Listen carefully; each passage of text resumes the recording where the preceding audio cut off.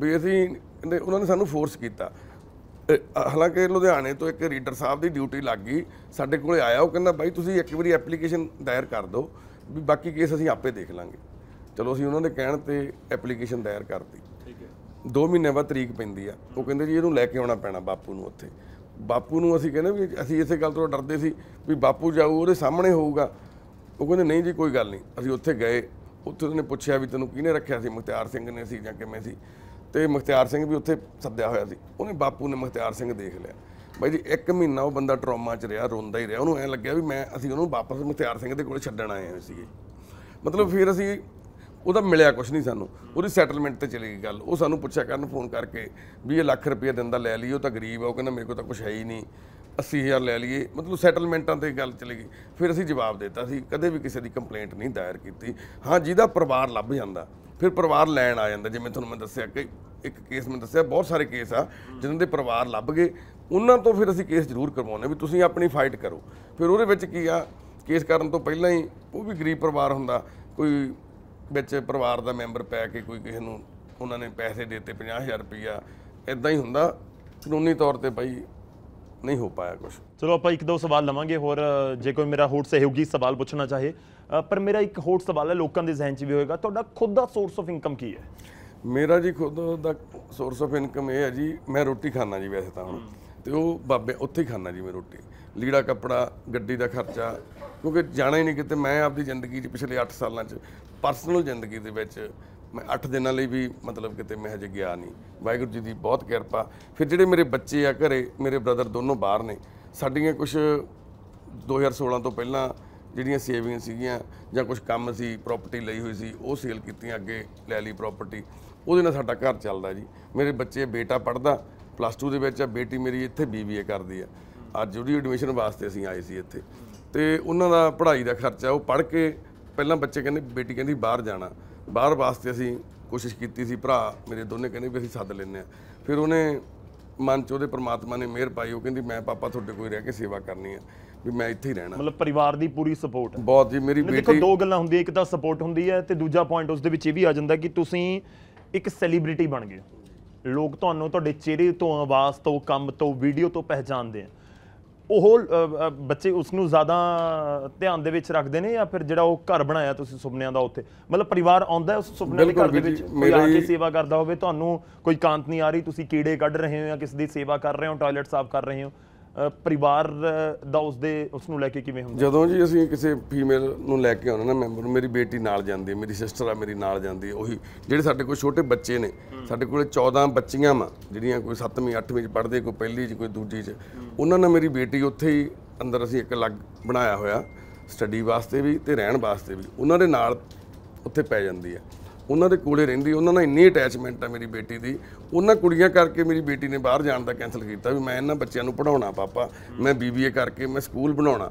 School ਦੇ ਵਿੱਚ ਇਹਨਾਂ ਬੱਚਿਆਂ ਨੂੰ, ਕਿਉਂਕਿ ਅਸੀਂ ਸਰਕਾਰੀ ਸਕੂਲ 'ਚ ਬੱਚਿਆਂ ਨੂੰ ਪੜ੍ਹਾ ਰਹੇ ਹਾਂ ਇਸ ਟਾਈਮ ਉੱਥੇ ਬੱਚੇ ਪੜ੍ਹਦੇ ਆ, ਪਰ ਇੱਕ ਬੱਚਾ ਜਿਹੜਾ ਲੈਵਲ ਆ ਨਾ, ਉਹਦਾ ਉਸ ਲੈਵਲ ਤੱਕ ਲੈ ਕੇ ਜਾਣ ਲਈ ਅੱਜ ਜੇ ਆਪਾਂ ਗੱਲ ਕਰੀ ਸਰਕਾਰੀ ਸਕੂਲ ਨੋ ਡਾਊਟ ਬਹੁਤ ਵਧੀਆ ਬਣ ਗਏ। ਸਾਡੇ ਪਿੰਡ ਦਾ ਸਕੂਲ ਬਹੁਤ ਵਧੀਆ, ਪੜ੍ਹਾਈ ਦੇ ਖੇਤਰ 'ਚ ਬਹੁਤ ਸਪੋਰਟ ਕਰਦੇ ਨੇ ਸਾਡੇ ਟੀਚਰ ਪਰ ਬੱਚਿਆਂ ਦੇ ਜਿਹੜੇ ਉਹ ਸੁਪਨੇ ਆ, ਹੁਣ ਮੰਨ ਲਓ ਪਲੱਸ 2 ਤੋਂ ਬਾਅਦ ਅੱਗੇ ਕਾਲਜ ਕਰਨਾ, ਤਾਂ ਮੇਰੀ ਬੇਟੀ ਦਾ ਇਹੀ ਸੁਪਨਾ ਵੀ ਮੈਂ ਆਪਣੇ ਇਹਨਾਂ ਬੱਚਿਆਂ ਦੇ ਨਾਲ ਰਹਿ ਕੇ ਪੜ੍ਹਨਾ, ਨਾਲ ਇਹਨਾਂ ਨੂੰ ਮੈਂ ਪੜਾਉਣਾ ਮੇਰੀ ਮਦਰ ਉਹ ਰਹਿੰਦੇ ਉੱਥੇ ਨੇ ਸਾਰਾ ਦਿਨ। ਉਹ ਬੀਬੀਆਂ ਵਾ, ਜਿਵੇਂ ਤੁਹਾਨੂੰ ਦੱਸਿਆ 160 65 ਬੀਬੀਆਂ ਸਾਡੇ ਕੋਲੇ। ਉਹ ਮਾਂ ਮੇਰੀ ਉਹਨਾਂ ਦੇ ਵਿੱਚ ਸਵੇਰੇ ਜਾ ਕੇ ਬੈਠ ਜਾਂਦੀ ਹੈ, ਸ਼ਾਮ ਨੂੰ ਘਰੇ ਆਉਂਦੀ ਹੈ, ਉਹਨਾਂ ਦੇ ਵਿੱਚ ਹੀ ਰਹਿਣਾ, ਕਿਸੇ ਦਾ ਦੁੱਖ ਸੁਣ ਲਿਆ, ਕਿਸੇ ਦੀ ਤਕਲੀਫ ਸੁਣ ਲਈ। ਮੇਰੀ, ਜੇ ਘਰੋਂ ਸਪੋਰਟ ਨਾ ਨਾ ਹੁੰਦੀ, ਮੇਰੀ ਵਾਈਫ ਮੰਨ ਲਓ ਇੰਨੀ ਸਪੋਰਟਿਵ ਆ, ਫਿਰ ਅਸੀਂ ਇਹ ਸੇਵਾ ਨਹੀਂ ਸੀ ਕਰ ਸਕਦੇ ਜੀ। ਕਿਉਂਕਿ ਜੇ ਇੱਕ ਦੋ ਚੀਜ਼ਾਂ, ਬੰਦਾ ਰੋਟੀ ਲਈ ਲੜਾਈ ਲੜਦਾ, ਜੇ ਘਰੇ ਮੈਨੂੰ ਪ੍ਰੈਸ਼ਰ ਪੈਂਦਾ ਸਾਡੀਆਂ ਆਹ ਖੁਆਇਸ਼ਾਂ ਪੂਰੀਆਂ ਕਰੋ, ਆਹ 'ਚ ਕਰੋ, ਸ਼ਾਇਦ ਅੱਜ ਇਸ ਪਾਸੇ ਨੂੰ ਨਾ ਤੁਰ ਪਾਉਂਦੇ। ਘਰੋਂ ਬਹੁਤ ਸਪੋਰਟ ਰਹੀ, ਮਾਂ ਦੀ, ਮੇਰੇ ਵਾਈਫ ਦੀ, ਮੇਰੇ ਪਰਿਵਾਰ ਦੀ, ਭੈਣਾਂ ਭਰਾਵਾਂ ਦੀ, ਜਿਹਦੇ ਕਰਕੇ ਅੱਜ ਅਸੀਂ ਇਹ ਸੇਵਾ ਕਰਦੇ ਹਾਂ। ਔਰ ਖਰਚੇ ਘਰ ਦੇ ਆ ਜਿਹੜੇ, ਉਹ ਕੋਈ ਜ਼ਿਆਦਾ ਨਜਾਇਜ਼ ਨਹੀਂ। ਅਸੀਂ ਘਰ ਆ, ਪੁਰਾਣੇ ਘਰ 'ਚ ਸੀਗੇ, ਹੁਣ ਉਹਨੂੰ ਥੋੜਾ ਰੈਨੋਵੇਟ ਕੀਤਾ, ਉਸੇ ਘਰ ਦੀ ਛੱਤ ਬਦਲ ਕੇ ਅਸੀਂ ਉਹਨੂੰ ਥੋੜਾ ਠੀਕ ਕੀਤਾ। ਖਾਦਾ ਪੀਤਾ ਮੁੱਕਦਾ ਨਹੀਂ ਬਾਈ। ਪਰ ਜੇ ਇਕੱਠਾ ਕਰਨ ਤੇ ਆ ਜਾਈਏ, ਉਹ ਜਿੰਨਾ ਮਰਜ਼ੀ ਕਰ ਲਾ, ਬਚਦਾ ਨਹੀਂ। ਸਾਡੇ ਕੋਲ ਇਦਾਂ ਦੇ ਕੇਸ ਆ, ਜਿਨ੍ਹਾਂ ਦੇ ਘਰੇ ਸੋਨੇ ਦੇ ਚਮਚੇ ਸੀ। ਇੱਕ ਮਾਤਾ ਸਾਡੇ ਕੋਲੇ, ਮਾਤਾ ਸ਼ਿਮਲਾ ਦੇਵੀ, ਢੰਡਰੀਆਂ ਪਿੰਡ ਤੋਂ ਲੈ ਕੇ ਸੰਗਰੂਰ ਜ਼ਿਲ੍ਹੇ ਤੋਂ। ਮਾਤਾ ਦਾ ਜਿਹੜਾ ਸਹੁਰਾ ਸੀਗਾ, ਉਹ 100 ਪਿੰਡਾਂ ਦਾ ਆੜਤੀਆ ਸੀ। ਉਹਨਾਂ ਦੇ ਘਰੇ ਸੋਨੇ ਦੀ ਇੱਟ ਹੁੰਦੀ ਸੀ। ਤੇ ਸੋਨੇ ਦੇ ਗਹਿਣੇ, ਸੋਨੇ ਦੀ ਗਿੜਬੀ ਚ ਉਹਦੇ ਪਾਣੀ ਵਾਰਨੇ ਹੋਏ ਸੀ ਮਾਂ ਦੇ ਜਦੋਂ ਵਿਆਹ ਕੇ ਆਈ ਸੀ ਉਸ ਘਰ 'ਚ। ਸੋਹਣੀ ਸੇਠ ਸੀ ਉਹ ਬੰਦੇ ਦਾ ਨਾਂ, ਉਹਦੇ ਦੋ ਪੁੱਤ ਸੀ, ਇੱਕ ਨੂੰ ਪੋਲੀਆ ਹੋਇਆ ਸੀ ਅਪਾਹਜ ਸੀ, ਇੱਕ ਥੋੜਾ ਸਿੱਧਾ ਸੀ। ਉਹਨੇ ਸਿੱਧਾ ਸੀ ਜਿਹੜਾ ਪੁੱਤ ਉਹ ਵਿਆਹ ਲਿਆ ਤੇ ਵਿਆਹ ਕੇ ਨੂੰਹ ਲਈ ਗਰੀਬ ਘਰ ਦੀ ਇੱਕ ਭਰਾ ਸੀ ਤੇ ਪੰਜ ਭੈਣਾਂ ਸੀ ਪਲੱਸ 2 ਕਰਾਈ। ਫਿਰ ਉਹਨੂੰ ਸਾਰਾ ਬਹੀ ਖਾਤੇ ਦਾ ਹਿਸਾਬ ਸਿਖਾਇਆ। ਪਿੰਡਾਂ ਦਾ ਇੰਨੀ ਕਿ ਜ਼ਮੀਨ ਉਹਦੇ ਕੋਲ ਗਹਿਣੇ ਪਈ ਸੀ ਲੋਕਾਂ ਦੀ ਜਾਂ ਵਿਆਜੂ ਪੈਸੇ ਦਿੰਦਾ ਸੀ, ਬਹੁਤ ਘਰੇ ਉਹਦੇ ਆੜਤ ਸੀ, ਘਰੇ ਉਹਦੇ ਡੀਪੂ ਸੀ, ਖੱਦਰ ਦਾ ਡੀਪੂ ਸੀ ਪੈਟਰੋਲ ਦੀ, ਆ ਜਿਹੜਾ ਮਿੱਟੀ ਦੇ ਤੇਲ ਦਾ ਡੀਪੂ ਸੀ, ਬਹੁਤ ਵੱਡਾ ਘਰਾਣਾ ਸੀ। ਢੰਡਰੀਆਂ ਪਿੰਡ 'ਚ ਚਵਾਰਾ, ਇੱਕ ਉਹਨਾਂ ਦਾ ਸੀ ਸੋਣੀ ਸੇਠ ਦਾ, ਚੌਂਕ ਦੇ ਵਿੱਚ ਚਵਾਰਾ ਸੀ, ਤੱਕੜ ਲੱਗਿਆ ਸੀਗਾ, ਐਡਾ ਤਕੜਾ ਕਾਰੋਬਾਰ ਸੀ। ਨੂੰਹ ਨੂੰ ਸਾਰਾ ਕੰਮ ਸਿਖਾਤਾ ਸੋਣੀ ਸੇਠ ਨੂੰ ਕੋਈ ਬਿਮਾਰੀ ਸੀ, ਉਹਨੂੰ ਪਤਾ ਸੀ ਮੈਂ ਤੁਰ ਜਾਣਾ, ਤੇ ਉਹਦੀ ਮੌਤ ਹੋ ਜਾਂਦੀ। ਹੁਣ ਉਹ ਨੂੰਹ ਉੱਥੇ ਬਹਿੰਦੀ ਆੜਤ ਤੇ, ਲੋਕ ਉਹਦੇ ਘਰ ਵਾਲੇ ਨੂੰ ਚੱਕ ਥਲ ਕਰ ਦਿੰਦੇ ਆ ਵੀ ਉਹਦੇ ਨਾਲ ਗੱਲਾਂ ਕਰਦੀ, ਉਹ ਕੁੱਟਦਾ ਰੋਜ਼ ਜਾ ਜਾ ਕੇ। ਜਿਹੜਾ ਉਹਦਾ ਦਿਓਰ ਆ ਪਹਾੜ ਸੀ, ਉਹ ਤਾਂ ਲੱਭੇ ਨਹੀਂ ਉਹ ਗਾਇਬ ਹੋ ਗਿਆ ਕਿਤੇ ਤੀਰਥ ਤੇ ਗਿਆ ਸੀ, ਮੁੜ ਕੇ ਨਹੀਂ ਆਇਆ। ਜਿਹੜਾ ਉਹਦੇ ਘਰ ਵਾਲਾ ਸੀ, ਉਹ ਉਹਨੂੰ ਕੁੱਟਦਾ ਮਾਰਦਾ, ਇੰਨਾ ਕੁੱਟਦਾ ਮਾਰਦਾ, ਉਹ ਅਪਸੈਟ ਹੋ ਜਾਂਦੀ ਹੈ। ਉਹਦੇ ਭਰਾ ਦੀ ਵੀ ਮੌਤ ਹੋ ਜਾਂਦੀ ਐਕਸੀਡੈਂਟ 'ਚ ਕੁੜੀ ਦੇ। ਭੈਣਾਂ ਗਰੀਬ ਘਰਾਂ 'ਚ ਬਹਿਆਂ ਸੀ, ਕੋਈ ਸਪੋਰਟ ਕਰਨ ਵਾਲਾ ਨਹੀਂ, ਮਗਰ ਆਉਣ ਵਾਲਾ ਨਹੀਂ।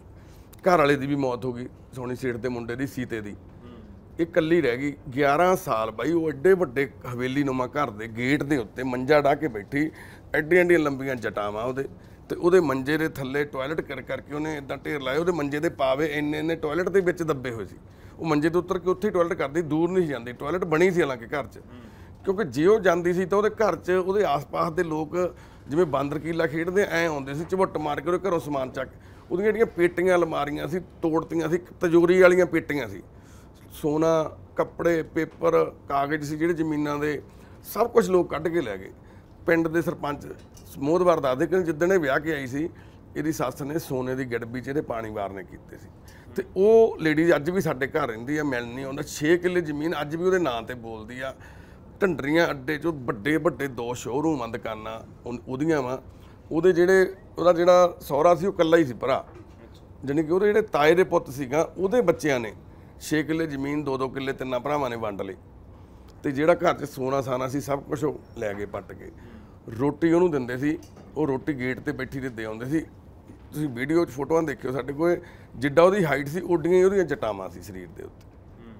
ਇੱਥੇ ਇੱਥੇ ਤੱਕ ਉਹਦੀਆਂ ਜਟਾਂ ਆਉਂਦੀਆਂ ਸੀ ਵਿਚਾਰੀ ਦੀਆਂ।